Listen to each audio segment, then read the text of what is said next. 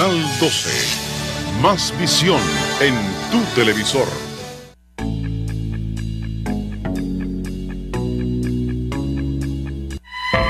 Peligro.